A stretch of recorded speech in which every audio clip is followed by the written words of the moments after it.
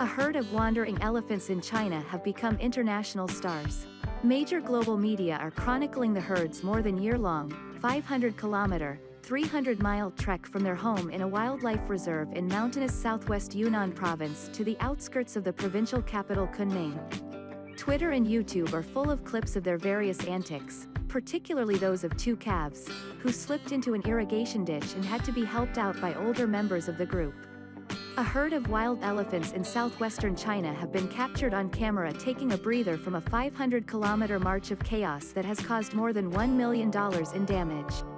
Chinese state television has launched a 24-hour live feed of the herd as the country remains on watch following the 15 elephants' epic trek through homes, barns and crops in Yunnan province.